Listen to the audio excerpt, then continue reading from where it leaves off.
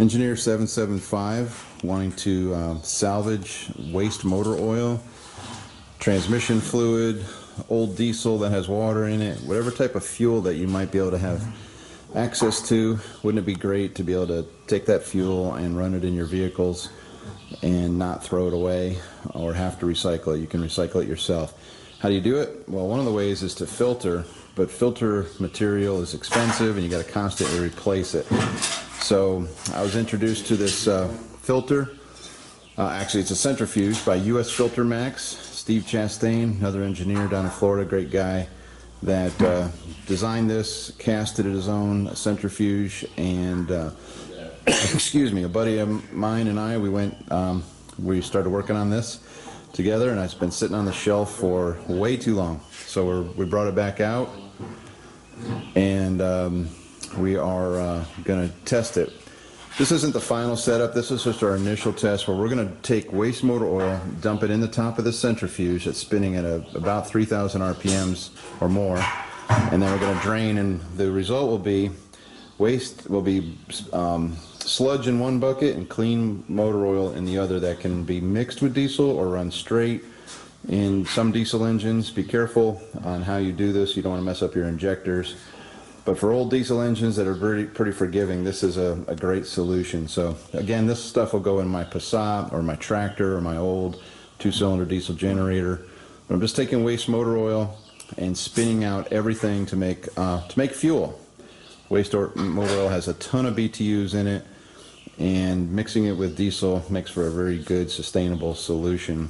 Um, transmission fluid. So just picture the amount of fluid that gets wasted every day and turn that into uh, transportation fuel, motor fuel. It's the way to go. So anyway, here goes our first test. All right, this is just some motor oil, nice and black from a friend of mine who's changing oil in his truck.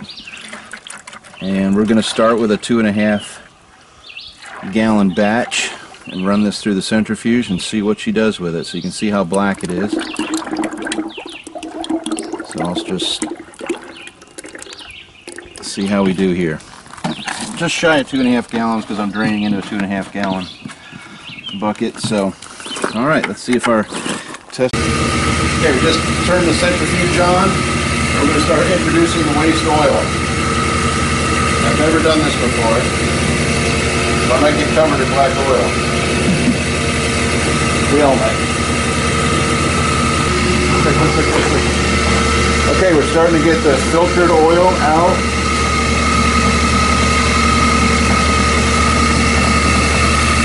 Starting to flow down the clear tubes. So we're seeing our spun oil. This oil is, uh, we might spin it again. Not sure, this is the first test. But this is uh, out of the centrifuge. It won't come out of the sludge tube until you shut the motor down. And we got to experiment with the rate at which we're flowing. I don't know if I'm going too fast, too slow. So we're still uh, we're experimenting here for sure. Okay, this is our first batch. Um, we, we were a little bit fast on the flow rate, I think, in the beginning. So that, here we go. We're getting it. Uh, we're getting down to the end of our two and a half gallon. We're just doing a two and a half gallon batch run here. And then we're going to shut the centrifuge off, and the only way to really tell if we did anything was to see how much sludge is left in the centrifuge, or how much will come out the sludge tube. But that won't happen, that doesn't work until the centrifuge stops spinning, because all the sludge is going to be stuck to the outside wall of the centrifuge. So we'll see, we'll wipe it out, and we'll, we'll show you that. All right. Now the sludge starts coming out. This is the, the bad stuff and whatever's in the hose, maybe. and whatever's in the hose. And we can spin this again. So now that the centrifuge has uh, stopped spinning, everything moves to the center, and that's where the drain plug is. So let's look at that. Okay. Still getting some oil in the hose here. rag. We'll just uh, throw that on the table. Great. we're still experimenting here. Now that works great. Okay, so you see, this is the guts of the centrifuge. When this is spinning, it takes the oil coming in and pushes it out, and it comes over the dam. Uh, the clean stuff comes over here. It looks like it never had oil on it, and then that drops in here to come out the clean tube. When you stop spinning, the internal drains here, where the sludge is coming. So let me, I'm gonna wipe my finger on the outside of the centrifuge and you see this black nasty stuff. That's what came out of, and it's gritty. This is what came out of that waste motor oil. So I just have a friend that was just changing the oil in his truck and he's been saving the oil for me to do this test.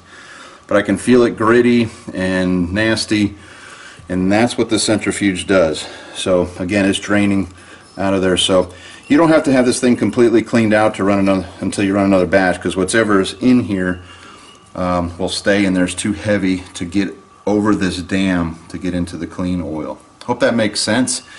So that's our first batch run with the Filter Max um, centrifuge from filtermax.com and I'll have uh, links in the description about this and this is uh, awesome. It does run off of a 220 power so you will need a generator or grid power to run it or a pretty good battery bank and an inverter to run it. But anyway, I'm looking forward to running this in the Volkswagen or my tractor and my generator and maybe even my truck. Again, it's good to be resourceful and use things around the house, especially when your wife's not home. Uh, kitchen spatula, I just swiped to uh, get the uh, the grit and everything that has come out of this. See, this works great. Look at this. Kitchen spatula, cleaning this, and then you just kind of wipe all the sludge to the drain holes, and then we are ready for another batch. Might as well, I just figured between batches, why not get the big stuff out, and you can't beat this spatula. So I owe my wife a spatula, but she'll understand, I hope. This is awesome. I might have to modify the spatula a little bit to get up in that upper ridge. But uh, anyway, that's doing a good job pulling it to the drain and it's going down the sludge tube. There's three holes in here that collect the, the heavy particulate matter and uh, we got most of it with the spatula. Awesome. Okay. Alright, we're using the spatula. We've modified the standard kitchen spatula so we're moving that oil to the center. So this is awesome. This is just like cake decorating for men works really good. Oh, I like that. All right.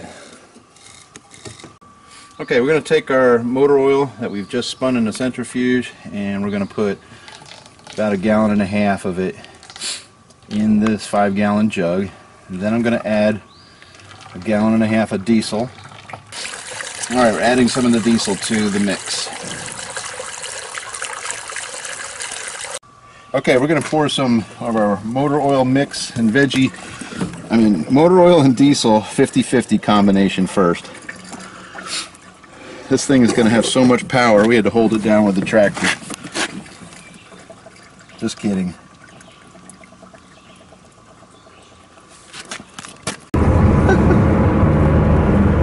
Go out the window.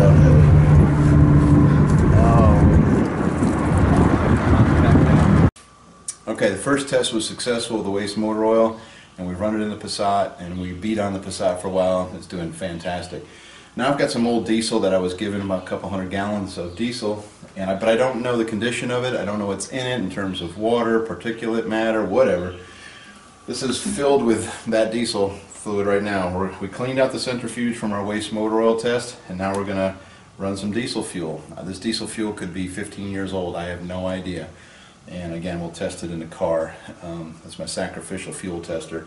So we got to start up the centrifuge again first.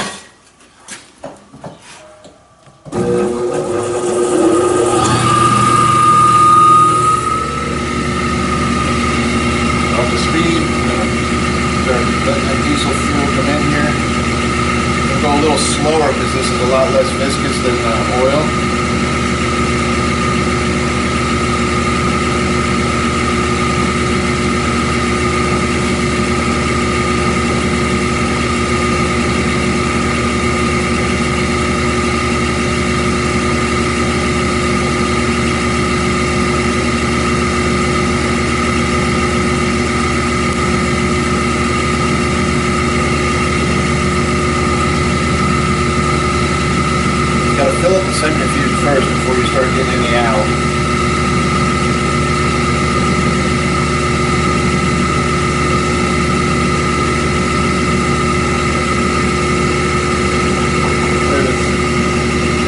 Starting to come out now, so I back I closed it.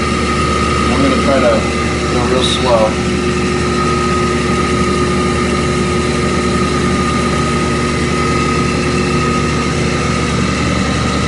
Still has a little bit of oil. It's gonna take a little bit of cleaning from this. Should have done that first.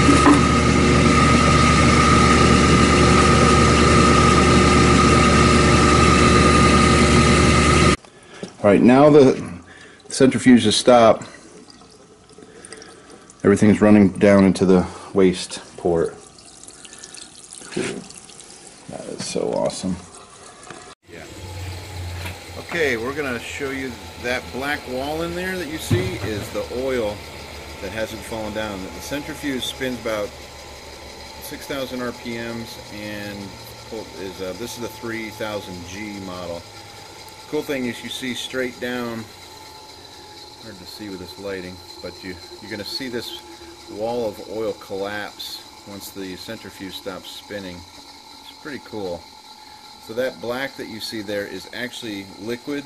It's a liquid wall, a little uh, donut of oil. And here it's to start collapsing here any second. As it breaks down, there it goes. Awesome. I don't know if you can see the swirls. And now it is draining out of the waste side. So we're getting the oil coming out. This is the nasty oil coming out with all the sludge. And we can rerun this batch too. We can still get a lot of good oil out of this, but that's the process.